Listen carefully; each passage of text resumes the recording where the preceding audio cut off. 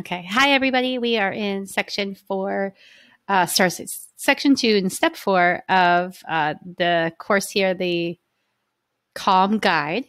And we're going over a paid Mighty Network option. And in the previous video, I was demonstrating uh, some of the other landing pages, the um, the pick a plan landing page as a doorway, or uh, utilizing this um, Calm Guide, or I'm sorry, Calm community landing page that has the specific uh, landing page from the plan that you created for your network. Uh, and so now I'm going to look into showing you the setting for a bundle.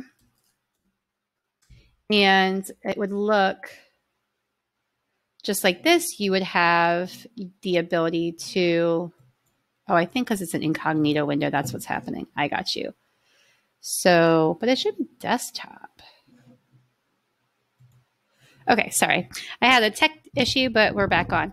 Um, so this is the link from that share link from the plans that we created. So I created this client corner and, and find calm here community plan. And with that plan, uh, it has clearly the price that the investment is, what you get. You get access to the Find Calm Here community and the client corner, which is a cohort within the community, but you could also do this for a course uh, or multiple courses. You can actually create plans for like access to several places. Uh, you can create a bundle of access to the membership, a cohort, and a course. You could have plans that do access to a course to two courses or five courses. So there's a lot of options. Um, but this allows you this link that you're sharing with them allows you to send them right to this landing page. So when we're talking about the doorway to get into your Mighty Network, having them come and land right here allows you to give them a clear path to seeing what it is we're we're doing here. They don't have to pick a plan or anything. It's like that's what we're talking about, which is right now is this client corner, and they get the Find Calm Here community with the client corner for this price.